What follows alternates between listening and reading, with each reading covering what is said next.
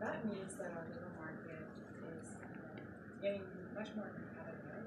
Um, although what you're saying is that more people are gonna come back into participating in the labor market. Do you guys ready for that? Because if they come and ask you to help them get ready, right? So there's a readiness that we need and, um, but I agree with you that there's more to do. We know that, we, there was a, a long list of things that, uh, that we were being asked to do, couldn't do everything all at once, we still have to, you know, maintain, um, a competitive economy, which we will do, but fairness is one of the guiding principles of the steps that we're taking. And probably the paying part-time work or contract work the same rate as others is a fairness thing, right? And it doesn't solve the fairness work problem completely, but that's a big step. When you think about my sister, right? I talked about Scarborough Town Center, where there's seniors, right? They're doing the same job. As long as it's the same job, they should be paid the same. Doesn't matter if they're not time. It, it- it's, it's a fairness principle for sure. And I think that helps along with minimum wage, uh, says we want to do, but, uh, we hope these steps will, will really help, uh, employees feel they are getting treated fairly, that they are earning a good wage, and they contribute to their community. So, but thank you for the question.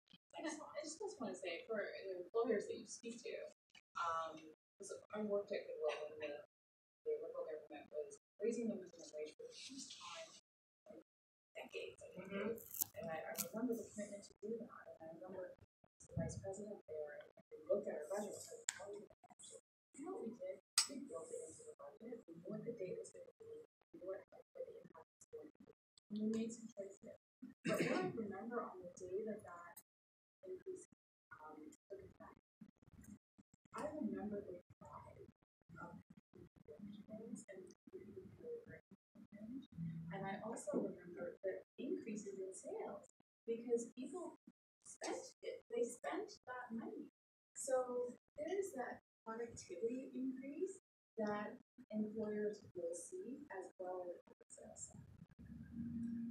I have to run, I Yeah. apologize, Well, but I know you my card, and this is Emily, she's gonna come back, uh, if we need to connect with her. And, uh, thank you again so much for being here and joining us for this initiative, yes. Yeah, okay. We're gonna connect on this. Absolutely. Thank you. I was just gonna say, there's your opportunity to give, to have, uh, give this opportunity to start what you're doing for the next nation, because you said that there's a lot more work to do, if you're not there, then that work is just going to stop. Yeah, so I'll, I'll, I'll do that, I'll Tracy heads out. Yes, Um, thank you.